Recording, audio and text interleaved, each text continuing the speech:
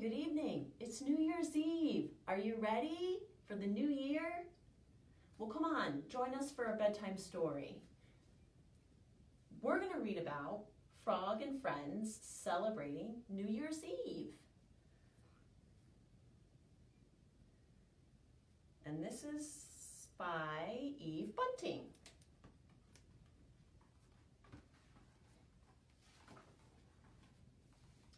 Frog and his friends are playing a game of tag when a little jumping mouse rushed over to them.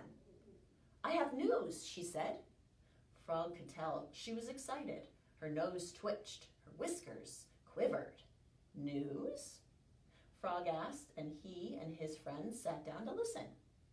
They loved mouse news.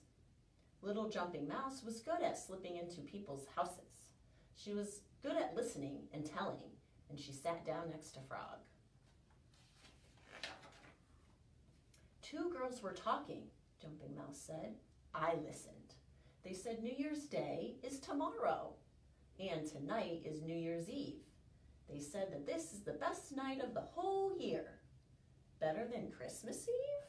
Raccoon asked. Well, no, but almost as good, Jumping Mouse said. Everybody wears a funny hat.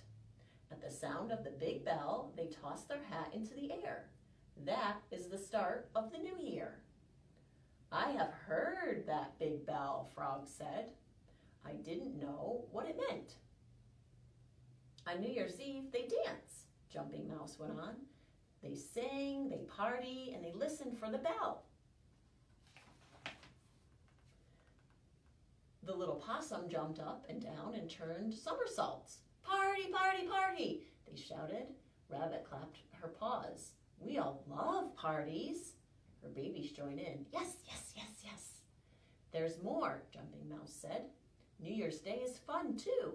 The older, the old year is over and everyone is happy. Frog frowned. Why? I like the old year. Well, on New Year's Day, you promised to change. You promised to be better. Jumping Mouse told them.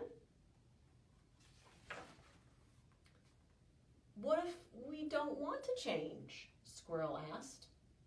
I don't want to, Raccoon said. I like me the way I am. We like you the way you are too, Rabbit said. And I don't want to change, she added. What if my little rabbits didn't know me anymore? The little rabbits began to cry. Don't change, Mama, don't. I won't, Rabbit said, and pulled them close to her. Frog and his friends looked at each other. Who wants to change? Frog asked. Not a single paw or claw or foot went up. Who wants their friends to change? Not a single paw or claw or foot went up. Little Jumping Mouse hung her head.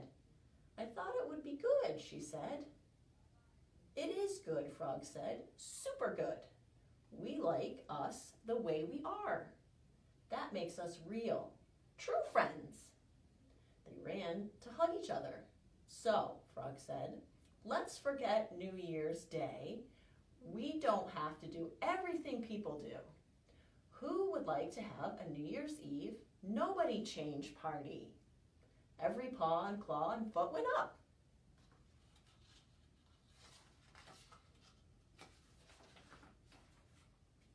They were busy the rest of the day making party hats. At night, they met again. There was hats of all kinds. Leaf hats, water lily hats, tin can hats, fern hats, bird's nest hats. It was all lovely. They played Ring Around the Rosie. Sometimes their hats fell off. Squirrel lent his tin can hat so they could play Kick the Can. They sang and danced the hokey pokey while the moonlight danced in the rare tree branches. When the big bell rang for New Year's Day, none of them heard it. They lay curled together the way real true friends do, all of them content, all of them fast asleep. And that was a little story of Frog and his friends celebrating New Year's Eve. I hope you have a wonderful new year. We'll see you next year. Have a good evening.